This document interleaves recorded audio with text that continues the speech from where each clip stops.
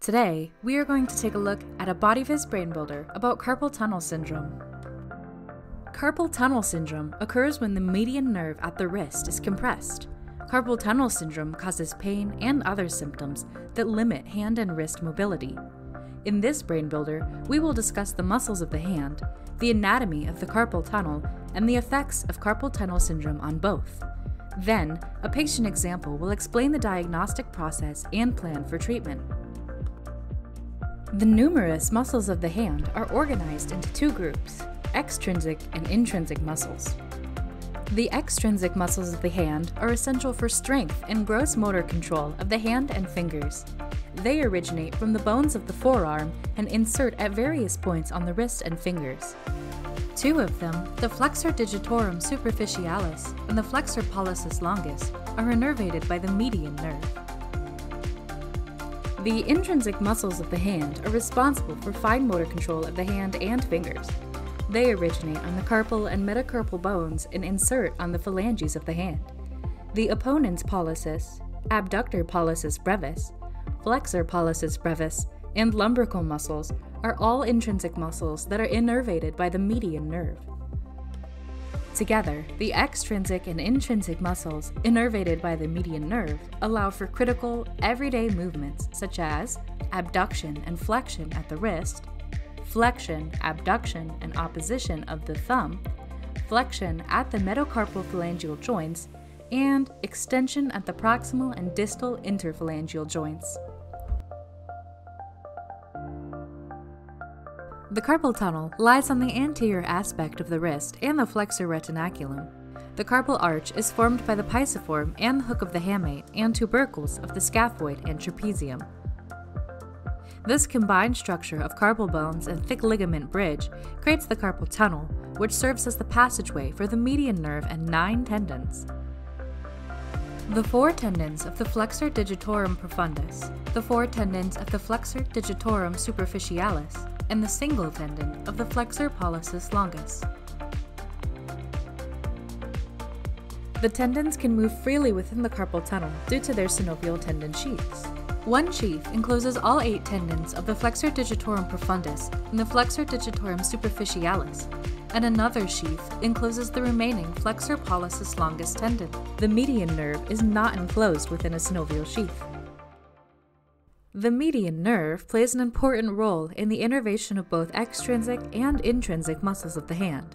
Gross and fine motor control, such as scrolling through your phone, doodling on your homework, or playing your favorite instrument, would be impossible without these muscles.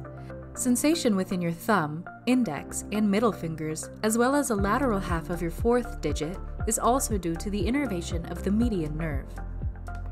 What happens when the median nerve gets squished? Let's take a look at the symptoms, causes, and treatment for carpal tunnel syndrome and then give a patient example.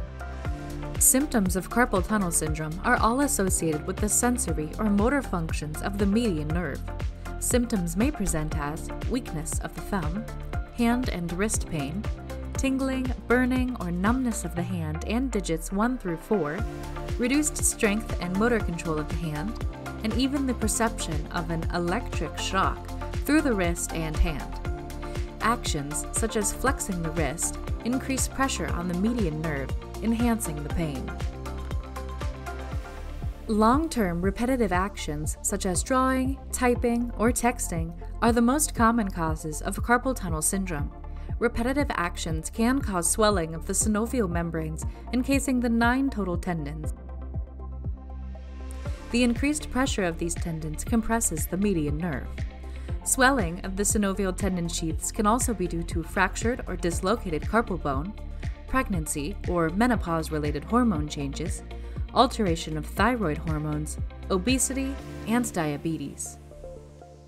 In order to diagnose carpal tunnel syndrome, there are two procedures. A doctor can follow your medical history, detailing when the pain started and what actions increase or decrease the pain, or a hand and strength assessment can be performed. This involves the strength and sensitivity of digits 1 through 4. To treat carpal tunnel syndrome, physical therapy or the use of a brace can help alleviate the pain. Other options include imaging or electromyogram and nerve conduction studies to determine if surgery is recommended. The goal of surgery is to increase the width of the carpal arch and carpal tunnel. Finally, let's take a look at a patient example. You receive your patient's file and take a look. Age 55.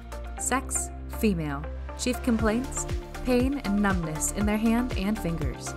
You invite the patient into your office for an examination. Your patient frequently experiences a tingling sensation in her digits, some weakness in the thumb, and overall pain in her hand and wrist after typing all day at work. This patient has tried a brace in the past to alleviate her pain, which she believes to be carpal tunnel syndrome. You decide to utilize imaging to determine the cause of the pain. You confirm that your patient has carpal tunnel syndrome. As your patient has experienced long term pain and relies heavily on her hands for everyday use, you decide to move forward with an open incision surgery. In surgery, some of the flexor retinaculum is cut, widening the carpal arch and carpal tunnel, reducing the pressure on the median nerve.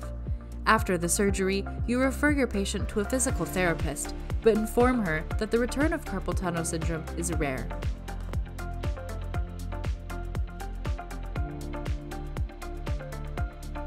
Thank you for watching this Brain Builder video. Please like and subscribe to our BodyViz channel, or if you are new at BodyViz, check out our other anatomy resources and schedule a demo at bodyviz.com.